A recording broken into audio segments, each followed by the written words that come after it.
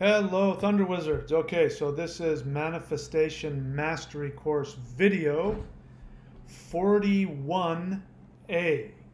And today I am going to be talking to you about the aura, how to strengthen the aura to manifest your dreams. And I'm going to be explaining to you how the aura is your antenna to the cosmos and how without strengthening the aura, without having a strong aura, you may not be able to manifest, but you may have challenges. And I'm going to be sharing with you the two most important factors. There's an internal factor that is absolutely essential to understand about how to uh, empower and create and strengthen the aura. And then there's an external factor and how you can use both of those to increase your aura to monumental uh, strength so that you can uh, empower yourself and manifest in your life. I'm going to be talking about a couple of different things. You know, maybe we'll get into some of the different uh, ways in which people manifest. There are two um, main uh, techniques. One is using thoughts and feelings to vibrate through your aura, which is your antenna out into the universe to manifest what you want. And the other is to use strategy and actions. I'll talk about how they go together, when they work, when they don't, etc., etc. So you have to watch this video all the way through because once I talk to you about all of this, I'm going to share with you in this video about ways that you may not know that you are depleting your aura and sabotaging your ability to manifest. And then at the end of this video, you have to watch it all the way through. I'm going to send you to another video where I'm going to share with you very simple, powerful shamanic techniques to strengthen your aura and then how to apply that into manifesting. So watch this all the way through so you can get access to that next video. Please go to neo.thunderwizard.com, the four main tools that you need in order to master this universe. Go to courses.thunderwizard.com for all of my books, my CDs, my DVDs, my video training courses, my streaming videos, my services like Vedic astrological readings, uh, rune readings, certifications. Subscribe, hit the bell button.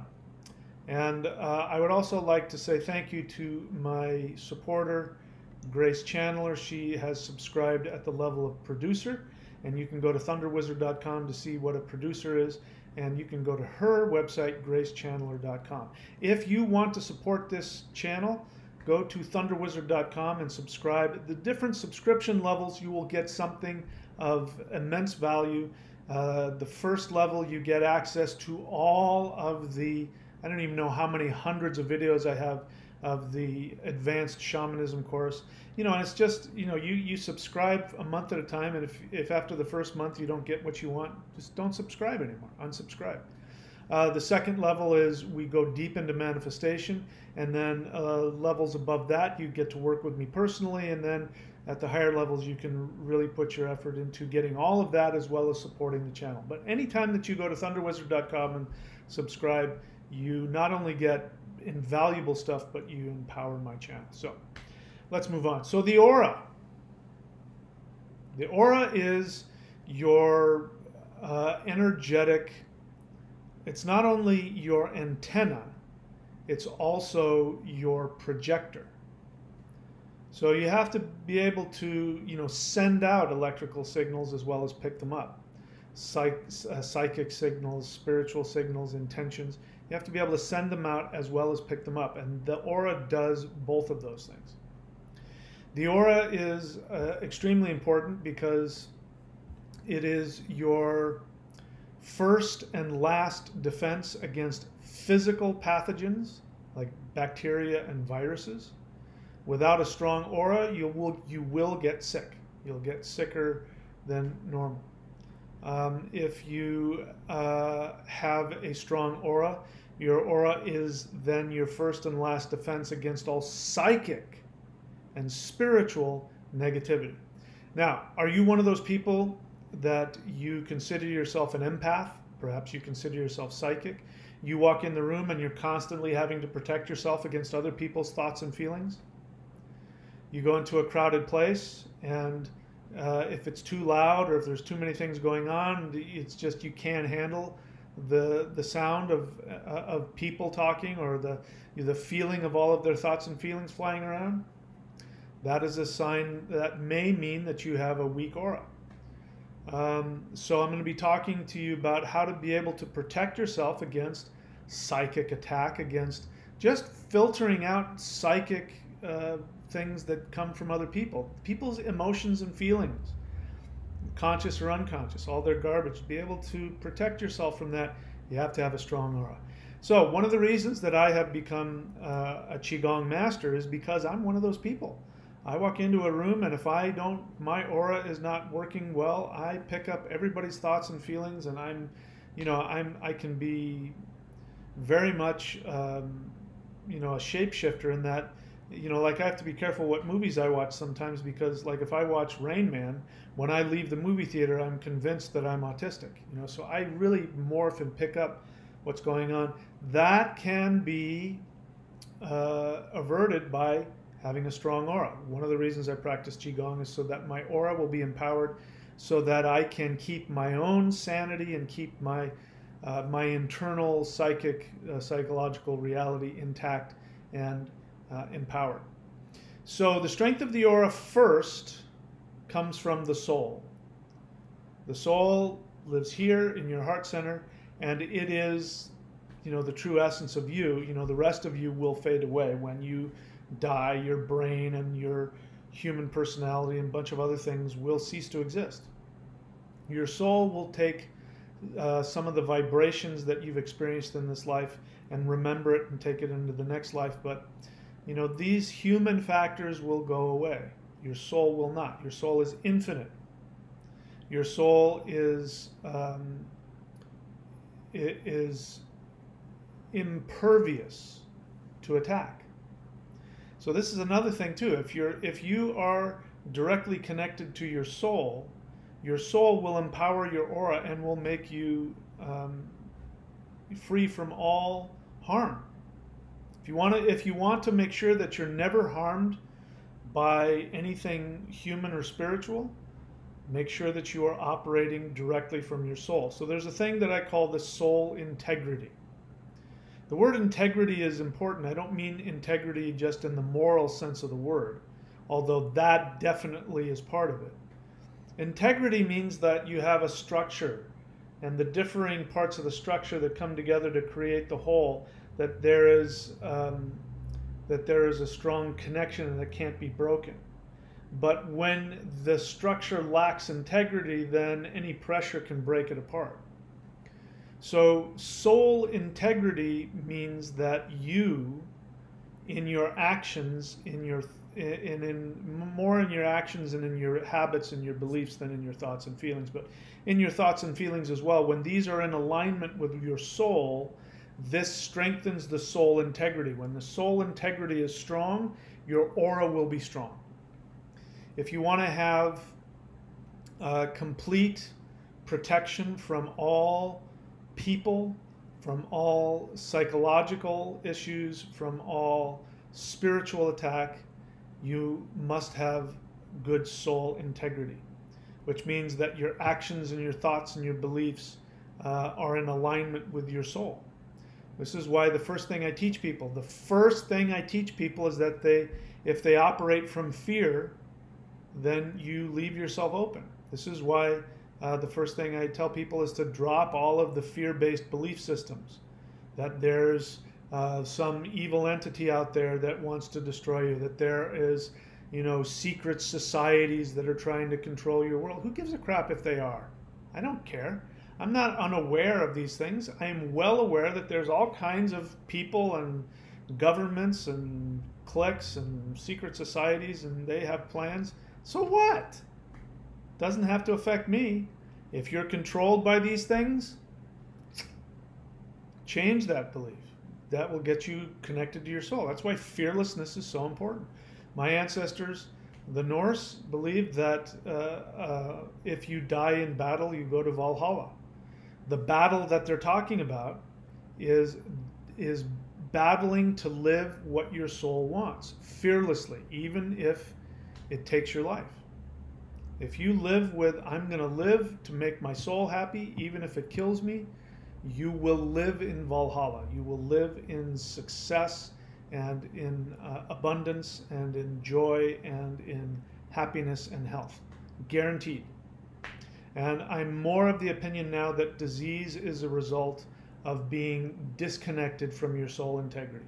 The further away you get from your soul integrity, the more that you open yourself up, but the more that you create imbalance within yourself, which creates illness. So the first, uh, the first line of defense for a strong aura is your soul, and that's what you should be focusing on the most. I talk about that a lot. But there is also an external source of energy which can be used to strengthen your aura, and that is to get energy from outside of you. This is done through meditation, through uh, ritual, through qigong and energy work, through breath work, um, even doing things like walking in the forest or swimming or exercising or going to the gym.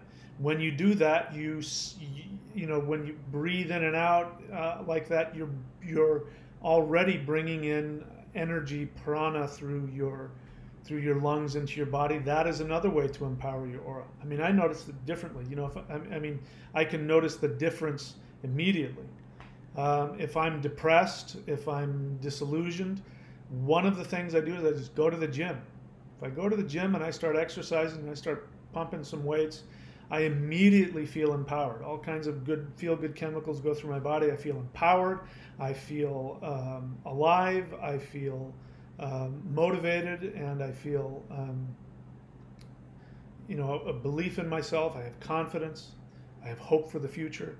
So that's these are the ways you can do it. You do it internally from your your soul integrity, and you can do it externally from uh, getting energy through qigong, breath work, yoga, and other ways that I mentioned.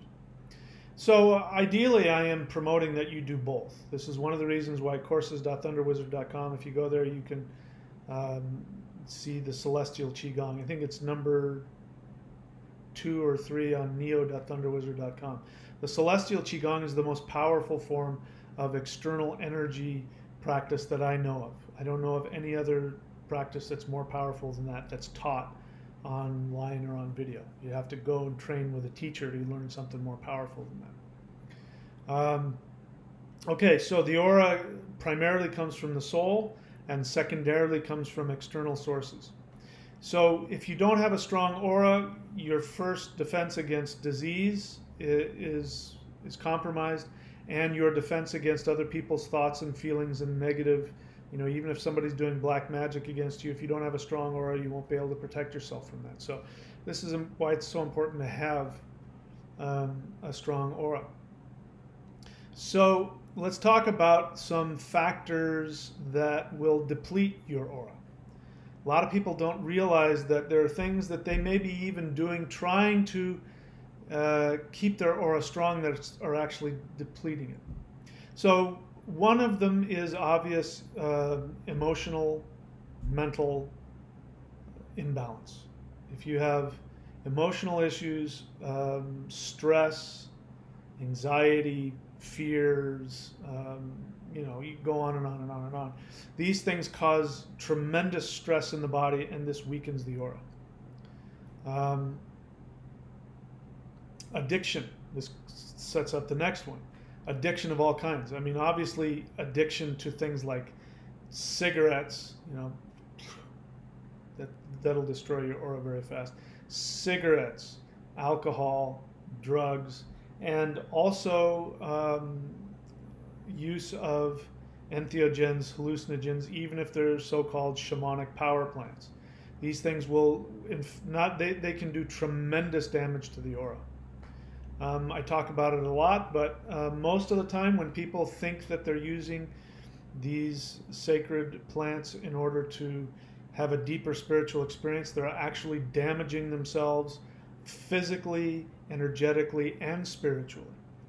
Because this is why in the past you had a master shaman who made the decisions, you know, and would say, no, you get to do the ritual today, you don't because they would actually do the singing and do the meditations and do the chanting in order to to put a, an aura of protection around people because they knew that these very powerful chemicals, what they did is they cracked the aura wide open.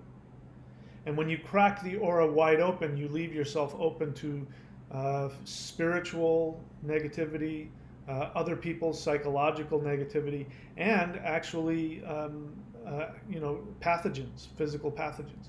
So unless you've got that strength over you, every time that you do that, you're cracking your aura open, you're squeezing the pineal and the pituitary, you're putting the organs in jeopardy, you're putting your body under a lot of stress, and you're weakening the aura. But it creates this cycle of dependence where, um, let's say, somebody doesn't have strong soul integrity, they might have some mental and emotional issues, uh, they uh, have, they're feeling energetically depleted, and so they're seeking, even if it's, you know, caffeine, nicotine. They're seeking some kind of outside stimulant in order to give them that power again. Um, but when the, when it goes to the point of using hallucinogens, then what ends up happening is they get they get a brief empowerment from the chemical, which then afterwards there's a crash, which means that the aura collapses in on itself. It's important to understand. This is what happens with every single power plant that you use. You get a rush of energy or drug use, you get a rush of energy. The aura gets expanded, which gives you this feeling of strength and empowerment, which is what people are looking for, as well as feeling satisfied, and it does all kinds of other things that I won't get into.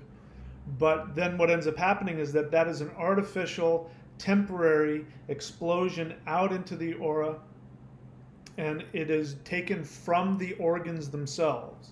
So you're actually not getting energy from outside of you. It's inside of you, and you're expelling all of your energy out into your aura. And then when that happens like a flash, after that comes down, then the aura collapses in on itself. And when it collapses in on itself, then you are you are completely open to all influences, both um, um, you know physical as well as spiritual and psychological. But then also you your aura as it's coming in, like grabs all of the toxins that are in the air and pulls them into your uh, body and into your aura and your organs. And um, I did did a video about marijuana. Go watch that. What marijuana really does to the to the energy uh, and to the aura and to the uh, to the brain as well as the organs of the body, and why ultimately any of those things, you know, ultimately are going to lead to less energy instead of more. But the good news is, is that there is external methods. Celestial Qigong, go up here to courses.thunderwizard.com, is an incredibly powerful way. The most powerful way that I know of. And what will happen is when you do external energy work, when you do true energy work, it will it will start working on you psychologically and emotionally and mentally to start steering you back towards your soul integrity. And so this is one of the good things. Yoga is really good for this as well. And yoga, you know, yoga isn't by the way just doing a bunch of postures and breathing. That's the that, that's the superficial understanding. Westerners came back, you know, thinking that they learned yoga after they learned a little bit of hatha yoga in India, and they come back going, "I trained with but that's just the physical part of it. There's also these things called um, yamas and niyamas. I think I'm saying that right which are uh, things where you um, you structure the way that you think and your behavior. So you know you employ some discipline in the things that you do and you don't do, how you think and how you act, and these things are very very important because you're in, and what those are doing is, trying to steer you back into your soul integrity, and you're operating directly from your infinite immortal soul. So that's why I say there's two ways to do it. You can do it where there's the internal method of meditation, which will align you back to your soul integrity, and that will give you power. And when you do that, you will align and you can, you know, phase out of this existence and become an immortal ascended master. And you can use external methods like Qigong, which will bring life force energy into you. But that life force energy has a consciousness and it's going to rotate you back to your soul integrity, and the same thing will happen you will start to vibrate on a higher level and you can ascend and become an immortal and become uh, enlightened and all those other good things. Um, here's another one uh, that depletes the aura. shame. Shame is really the, the disease of modern times. And when we talk about dysfunctional homes and dysfunctional parents, we're talking about levels of shame. When you judge yourself and you are shamed into, you know, low self-esteem, or uh, you know, if you become um, a narcissist as well. Narcissists are also they become narcissists because they're overcompensating for their internal shame, their internal negativity and self-hatred. So, you know, shame really is at the core of all of it, if I really want to be honest with you about it. Um, another thing that will weaken the aura is false assumptions about your relationship to the universe. So, if you have fear based beliefs, if you believe that God sits on a throne and judges you, that you were born sinful, and that you need to have Jesus to die on your sins in order to go to heaven because you are sinful, that is a false assumption that will dislocate you from your soul integrity and you'll start leaking energy. Um, so this is very hard on you. False assumptions that that the the idea that you are being controlled, the idea that uh, the universe doesn't love you, that you um, have to align your thoughts and feelings perfectly in order to manifest your life. These are all false assumptions about the universe that will weaken your aura. I talk a lot about these. Watch more of my videos, especially neo.thunderwizard.com. Uh, um, we talk about those. And I've talked uh, already about what I call the balloon effect. So the balloon effect, and, and I'll use this one, uh, a specific example, I'll use THC, uh, which is the chemical in uh, the marijuana plant, the cannabis plant, that gets gives you the high feeling. This is a really good example of why um, external chemicals are not helping you spiritually and energetically because of the balloon effect. So again, people use external, uh, all kinds of things, whether it's gambling, whether it's uh, pornography, whether it's sex, whether it's uh, violence, whether it's, you know, whatever it is. People use all kinds of external things, alcohol, cigarettes, in order to empower their aura, their feeling of empowerment. But it creates a balloon effect. And I'll explain it to you uh, with THC because it's the one of the best examples. So at the base of your spine, you have this little aperture that opens and closes to regulate your aura. And um, when your aura is uh, like your aura comes in a little bit, it will open up and it will pull uh, um, energy in. When it closes down, it pushes energy out of the aura, um, out into the aura. So, uh, what happens is when THC is entered into the system, the it's called the Ming Men. It's at the base of the spine. It opens up completely. And it, it sucks in all of the energy from your aura all of it comes up through the spinal column and gets shoved up into the higher centers of the brain, and the brain inflates like a balloon full of energy. That's why uh, on THC, people feel like they're having these really intense uh, mental and emotional um, awarenesses. They think that they're thinking on a very deep level. They feel as though their mind has expanded. Well, it really has. The energy has come up into the into the brain and expanded it. It's expanded, but it, the feeling of having some heightened awareness or some more deep awareness is actually uh, very um, illusory. It's it's a complete delusion, and it's from the brain being filled with all of the aura that it's pulled, uh, all of the energy that it's pulled out of the aura. Now, what ends up happening is that it also, once it uh, all of your external aura gets sucked up into your brain and explodes out into this balloon, your aura is now gone. And this is why people can have hallucinations. This is why they can have experiences of, you know, having heightened psychic abilities. It's because their aura is gone. And so they have no defense against anything that's coming at them. Um, the liver starts to panic because the liver uh, creates an energy field which is part of your aura, which protects you from negativity. When your aura is gone, the liver, um, THC is actually attacking the liver. It feels like it's being attacked. This is why you get paranoia. So the the you know things like just tell me that I can leave this room, that I don't have to stay in this room forever. When you start to go crazy and have that kind of stuff, it's because your your your uh, liver's freaking out because it, it can't protect itself, and that's where the paranoia comes from. So the balloon effect, once the balloon has been expanded, then of course it will contract and it goes, and it, it gets sucks in on itself. And so, you know, the, the balloon completely deflates. So now the balloon, which is your aura, has no energy in it. And so you crash. And what happens? One of the things that people want to do next, go back and get that experience again. They go back to the caffeine, to the nicotine, to the alcohol, to the to the sex, to the uh, THC, in order to get the aura to, to expand again. But it expands and then deflates, and then the aura gets very weak and very pliable. And so you have this very weak, pliable aura. And the point is, if your aura is not empowered, you cannot manifest because your aura is your antenna.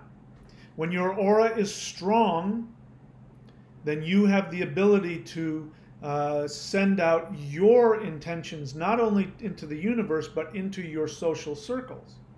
So this will give you the ability to stand your ground. This will give you the ability to navigate toxic people because they, they will be diverted from you, just like, you know, um, you know, as you're going through the wa- the waters parting from you, your aura will part them out of the way. They will see that you're not a victim. They will not want to come and play with you or mess with you or send you their negativity or or um, victimize you because predators look for victims, and what they look for is victims that have weak auras, weak auras that they can penetrate.